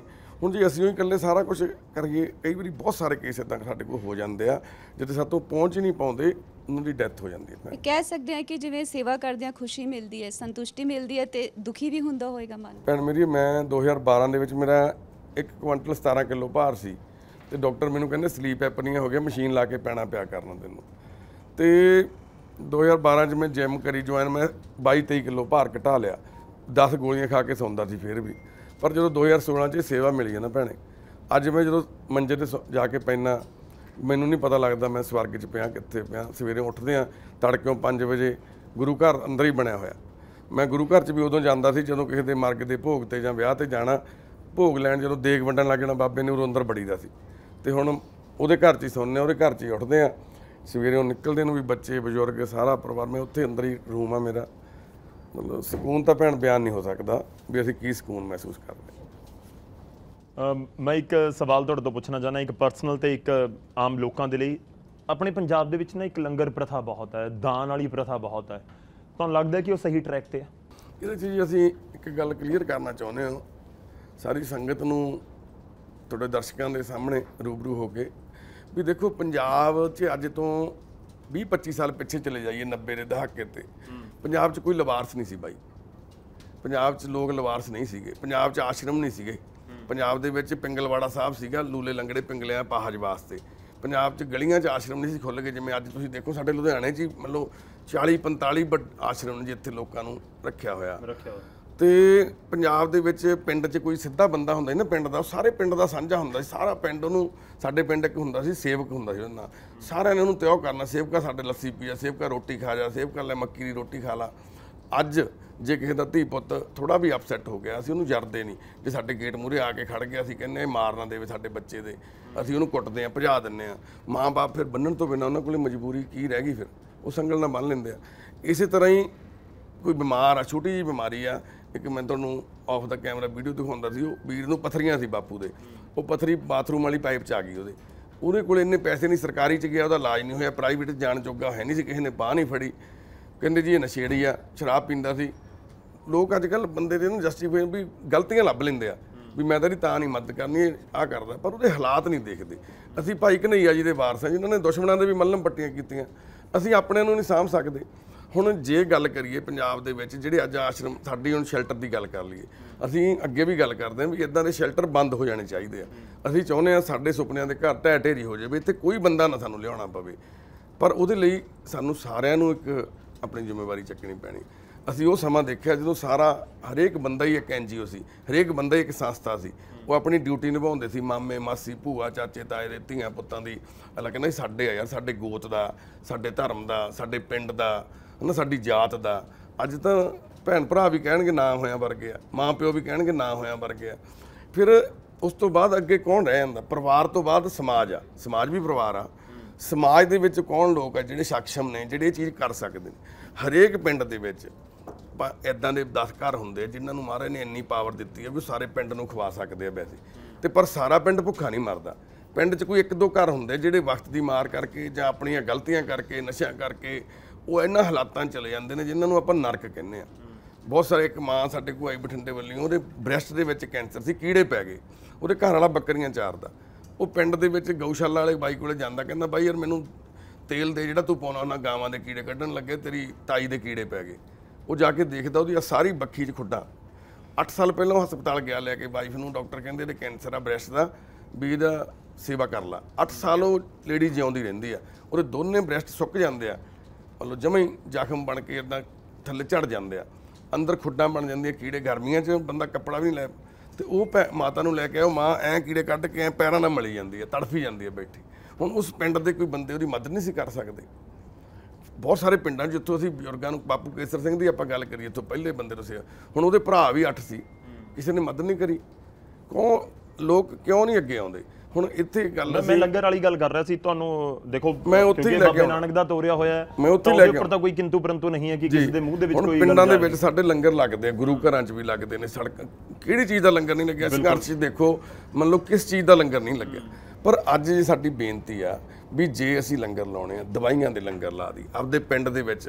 ਹੁਣ ਐਨ ਆਰ ਆਈ ਭੈਣ ਭਰਾਵਾਂ ਨੂੰ ਬੇਨਤੀ ਜ਼ਿਆਦਾ ਸਭ ਤੋਂ ਵੱਡਾ ਤਬਕਾ ਪੰਜਾਬ ਦਾ ਐਨ ਆਰ ਆਈਆਂ ਤੇ ਡਿਪੈਂਡੈਂਟ ਆ। ਸਾਡੀਆਂ ਸੰਸਥਾਵਾਂ ਵੀ ਜ਼ਿਆਦਾਤਰ ਉੱਥੋਂ ਚੱਲਦੀਆਂ। ਜੇ ਉਹ ਆਪੋ ਆਪਣੇ ਪਿੰਡਾਂ ਨੂੰ ਸਾਂਭ ਲੈਣ, ਤਾਂ ਲੋੜ ਹੀ ਨਾ ਪਵੇ ਇਹਨਾਂ ਸੰਸਥਾਵਾਂ ਦੀ। ਹਰ ਪਿੰਡ ਦੇ ਵਿੱਚ ਅੱਜ 10 20 50 ਘਰ ਕੈਨੇਡਾ, ਅਮਰੀਕਾ ਬੈਠੇ ਆ। ਉਹ ਆਪਦੇ ਪਿੰਡ 'ਚ ਫਸ ਕਿਹੜੀ ਗੱਲ 'ਚ ਗਏ, ਇੱਕ ਬੰਦਾ, ਉਹ ਚਾਹੁੰਦਾ ਮੈਂ ਆਪਦੇ ਪਿੰਡ 'ਚ ਕਿਸੇ ਦੀ ਮਦਦ ਕਰਾਂ। ਉਹਦਾ ਤਾਇਆ, ਚਾਚਾ ਕਹਿਣ, ਰਹਿਣ ਦੇ ਤਾਂ ਆਪਣੇ ਨਾਲ ਬਣਦੀ ਨਹੀਂ, ਇਹ ਆਪਣੀ ਦੂਜੀ ਪਾਰਟੀ ਦਾ। ਮਤਲਬ ਚਾਹੁੰਦੇ ਹੋਏ ਵੀ ਬੰਦੇ ਮਦਦ ਨਹੀਂ ਕਰ ਪਾ ਰਹੇ। ਜੇ ਪਿੰਡਾਂ ਦੇ ਵਿੱਚ ਉਹ ਆਪਣੇ ਆਪਣੇ ਪਿੰਡਾਂ ਨੂੰ ਸਾਂਭ ਲੈਣ, ਜਦੋਂ ਅਸੀਂ ਕਿਸੇ ਵੱਡੇ ਪਿੰਡ 'ਚ ਜਾਂਦੇ ਆ ਹੁਣ ਕੱਲ ਪਰਸੋਂ ਇੱਕ ਮੋਗੇ ਜ਼ਿਲ੍ਹੇ ਦਾ ਪਿੰਡ ਆ, ਉੱਥੋਂ ਇੱਕ ਵੀਰ ਨੂੰ ਲੈ ਕੇ ਆਏ, ਉਹਦੇ ਕੀੜੇ ਪਏ ਹੋਏ ਪੈਰ 'ਚ। ਉਹ ਲੇਬਰ ਕਰਦਾ ਸੀ, ਸਾਰੇ ਪਿੰਡ 'ਚ ਉਹ ਦਿਹਾੜੀ ਕਰਦਾ ਰਿਹਾ, ਹਰੇਕ ਦੇ ਘਰੇ ਗਿਆ ਉਹ, ਪੂਰੀ 50 ਸਾਲ ਦੀ ਉਮਰ ਆ ਕਰੀਬ। ਮਜ਼ਦੂਰੀ ਕਰਦਾ ਸੀ ਬੰਦਾ। ਉਹਦੇ ਪੈਰ ਤੇ ਜ਼ਖਮ ਹੋ ਗਿਆ, ਕਹਿੰਦੇ ਕੱਖ ਲੱਗ ਗਿਆ ਪਿੰਡ 'ਚ, ਆਪਾਂ ਕਹਿ ਦਿੰਦੇ ਵੀ ਸੱਪ ਨੇ ਹੱਥ- ਮੂੰਹ ਲਾਤਾ, ਗਲ ਗਿਆ ਪੂਰਾ। ਸਰਕਾਰੀ ਹਸਪੀਟਲ ਲੈ ਕੇ ਗਏ ਮੋਗੇ, ਉਹਨਾਂ ਨੇ ਪਟਿਆਲਾ ਉੱਥੇ ਰੈਫਰ ਕਰਤਾ ਫਰੀਦਕੋਟ ਮੈਡੀਕਲ ਕਾਲਜ। ਫਰੀਦਕੋਟ ਵਾਲੇ ਕਹਿੰਦੇ ਸਾਡੀ ਸਟ੍ਰਾਈਕ ਚੱਲਦੀ ਹੈ, ਇਹਨੂੰ ਵਾਪਸ ਲੈ ਜਾਓ। ਉਹਦੇ ਕੀੜੇ ਪੈ ਗਏ, ਉਹ ਸਾਡੇ ਕੋਲ ਲੈ ਕੇ। ਹੁਣ ਮੈਂ ਪੁੱਛਣਾ ਚਾਹੁੰਦਾ ਵੀ ਉਹ ਪਿੰਡ ਦੇ ਵਿੱਚ ਦੇਖੋ ਕਿੰਨੇ ਇੰਨੇ ਲੋਕ ਵੀ ਨਹੀਂ ਸੀਗੇ ਜਿਹੜੇ ਉਹਦੀ ਮਦਦ ਕਰ ਦਿੰਦੇ ਉੱਥੇ। ਉਹਨੂੰ ਐਡੀ ਦੂਰ ਆਉਣਾ ਪਿਆ। ਸਾਡੇ ਵਰਗਾ ਸਮਾਜ ਸੇਵੀ ਬਣ ਰਿਹਾ ਇੱਕ, ਮਤਲਬ ਪਖੰਡੀ ਚੋਰ ਵੀ ਮੈਂ ਸੇਵਾ ਕਰਦਾ।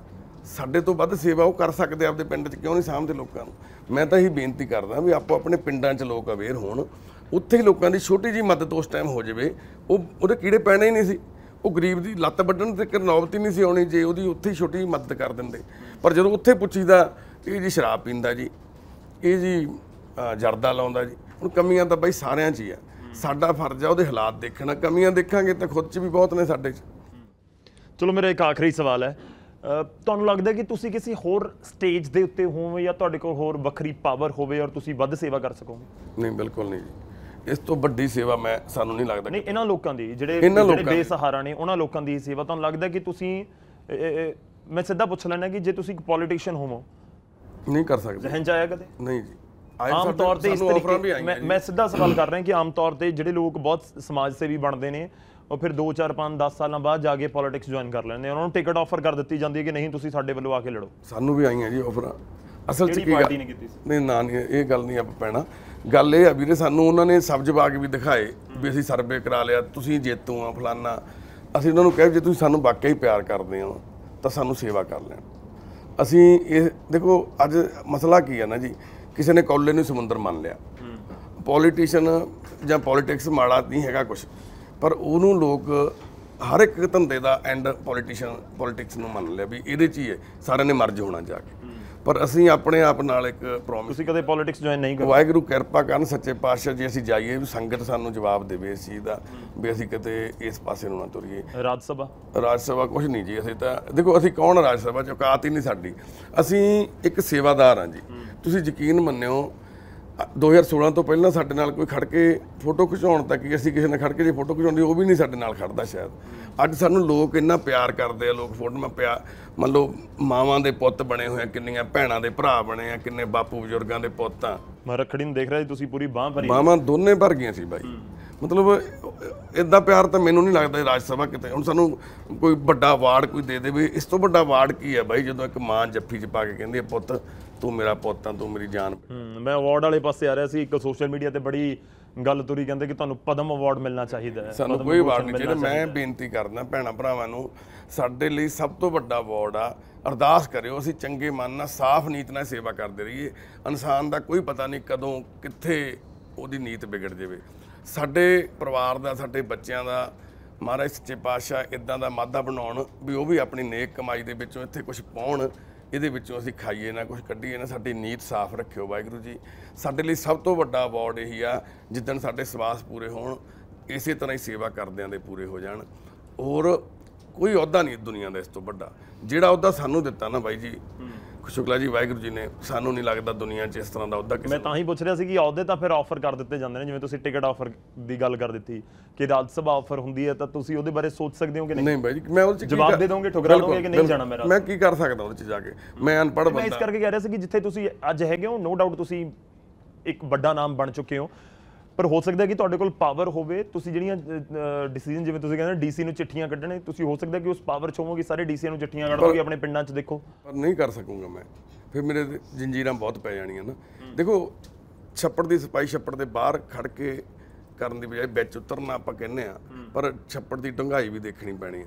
ਛੱਪੜ ਦੇ ਵਿੱਚ ਅੱਜ ਜੇ ਤਕਨੀਕੀ ਤੌਰ ਨਾਲ ਮਸ਼ੀਨ ਲਿਆ ਕੇ ਆਪਾਂ ਬਾਹਰੋਂ ਖੜ ਕੇ ਵੀ ਪੋਪਲੇਨ ਨਾਲ ਸਫ਼ਾਈ ਕਰ ਸਕਦੇ ਅਸੀਂ ਜ਼ਰੂਰੀ ਨਹੀਂ ਵੀ ਅਸੀਂ ਇਹਦੇ ਵਿੱਚ ਉਤਰੀਏ। ਤੇ ਮੈਂ ਇਸ ਚੀਜ਼ ਨੂੰ ਮੈਂ ਨਹੀਂ ਕਹਿੰਦਾ ਕੋਈ ਇਹ ਮਾੜੇ ਆ ਜਾਂ ਮੈਂ ਕੋਈ ਗਲਤ ਕਹਾਂ ਪਰ ਅਸੀਂ ਬਿਲਕੁਲ ਵੀ ਨਾ ਰਾਜ ਸਭਾ ਨਾ ਸਾਨੂੰ ਕੁਝ ਚਾਹੀਦੀ ਹੈ, ਨਾ ਮੈਂ ਲਵਾਂਗਾ।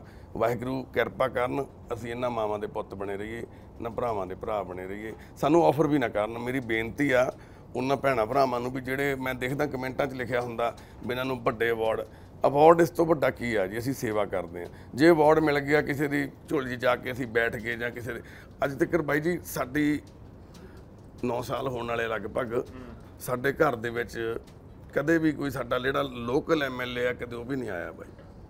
ਅਸੀਂ ਇਹ ਨਹੀਂ ਕਹਿੰਦੇ ਵੀ ਵੀ ਉਹ ਗਲਤ ਆ।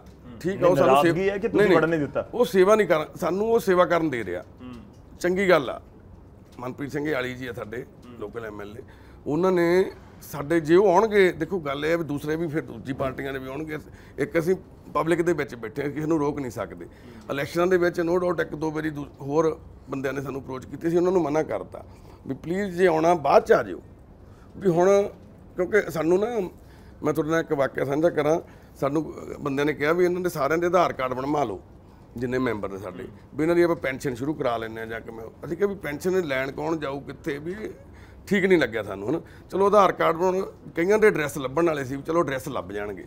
ਆਧਾਰ ਕਾਰਡ ਵਾਲੀ ਟੀਮ ਆ ਗਈ ਉੱਥੇ ਡੀਸੀ ਸਾਹਿਬ ਨੇ ਭੇਜਤੀ, ਸਾਡੇ ਹਰਜਿੰਦਰ ਸਿੰਘ ਬੇਦੀ ਜੀ ਨੇ ਏਡੀਸੀ ਹੁਣ ਸ਼ਾਇਦ ਉਹ ਪਟਿਆਲੇ ਲੱਗੇ ਹੋਏ ਨੇ, ਉਹ ਬਹੁਤ ਸਪੋਰਟ ਕਰਦੇ, ਪਹਿਲਾਂ ਲੁਧਿਆਣੇ ਵੀ ਰਹੇ ਆ ਕੋਵਿਡ 'ਚ ਉਹਨਾਂ ਨੇ ਬਹੁਤ ਮਦਦ ਕੀਤੀ ਸਾਡੀ, ਉਹਨਾਂ ਨੇ ਟੀਮ ਭੇਜਤੀ, ਆਧਾਰ ਕਾਰਡ ਬਣ ਗਏ 100 ਸਵਾ ਸੌ ਬੰਦੇ ਦੇ, ਫਿਰ ਉਹ ਕਹਿੰਦੇ ਜੀ ਹੁਣ ਇਹਨਾਂ ਦੀ ਵੋਟ ਵੀ ਬਣਵਾ ਲਓ, ਹੁਣ ਮੈਂ ਕਿਹਾ ਜੇ ਸਾਡੀ 2-400 ਵੋਟ ਬਣ ਗਈ, ਪਹਿਲਾਂ ਸਾਡੇ ਪਿੰਡ ਦੀ ਸਰਪੰਚ ਵੀ ਸਾਡੇ ਤੇ ਤੈਅ ਹੋ ਜਾਣੀ ਆ, ਵੀ ਮਨੁੱਖਤਾ ਦੀ ਸੇਵਾ ਹੀ ਬਣੂਗੀ ਸਰਪੰਚੀ ਦਾ, ਕਿਉਂ 500 ਵੋਟ ਸਾਡੇ ਅੰਦਰ ਬੈਠੀ ਆ, ਫਿਰ ਮੈਂ ਕਿਹਾ ਇੱਥੇ ਪੋਲੀਟੀਕਲ ਲੀਡਰਾਂ ਦਾ ਆਉਣਾ ਜਾਣਾ ਬਣਨਾ ਹੀ ਹੈ ਜਦੋਂ 500 ਵੋਟ ਅੰਦਰ ਪਈ ਆ ਤਾਂ ਮਤਲਬ ਅਸੀਂ ਉਹਨਾਂ ਦੀ ਉਸ ਪਾਸੇ ਨੂੰ ਵੀ ਨਹੀਂ ਤੁਰੇ ਵੀ ਵੋਟ ਬਣਵਾਈਏ।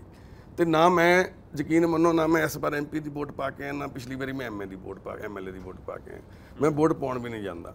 ਕਿਉਂਕਿ ਮੈਂ ਨਹੀਂ ਕਹਿੰਦਾ ਵੀ ਇਹ ਗਲਤ ਗੱਲ ਆ ਲੋਕਾਂ ਨੂੰ ਕਹੀਦਾ ਪਾਓ ਭਾਈ ਮਤਦਾਨ ਕਰਨਾ ਚੰਗੀ ਗੱਲ ਆ।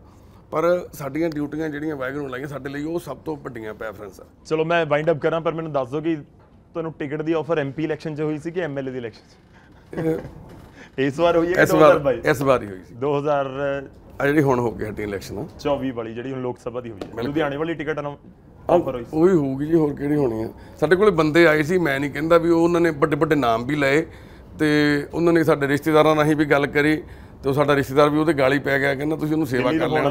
ਹੈ? ਮੈਂ ਦਿੱਲੀ ਵਾਲਿਆਂ ਦੇ ਨਾਮ ਲਏ ਸੀ। ਹਾਂ ਦਿੱਲੀ ਵਾਲਿਆਂ ਦੇ ਲਏ ਨਾ ਜਾ ਪਰ ਦੋ ਕਿ ਦੋ ਤਿੰਨ ਵੱਡੀਆਂ ਪਾਰਟੀਆਂ ਉਹਨਾਂ ਦੇ ਵਿੱਚ ਕੋਈ ਆਇਆ ਤੁਹਾਡੇ ਕੋਲ? ਕੋਈ ਤਾਂ ਆਇਆ ਹੀ ਹੋਊ ਜੀ ਹਨਾ ਪਰ ਮੇਰੀ ਬੇਨਤੀ ਹੈ ਹੱਥ ਜੋੜ ਕੇ ਵੀ ਸੰਗਤ ਨੂੰ ਵੀ ਜੇ ਕਿਤੇ ਅਸੀਂ ਵੀ ਤੁਹਾਡੇ ਮੂਹਰੇ ਆ ਕੇ ਖੜੇ ਹੋ ਜਾਈਏ ਜੋੜ ਕੇ ਹੱਥ ਵੀ ਅਸੀਂ ਕਹੀ ਸਾਨੂੰ ਵੋਟਾਂ ਪਾਵੋ ਸਾਨੂੰ ਬਿਲਕੁਲ ਨਾ ਪਾਇਓ।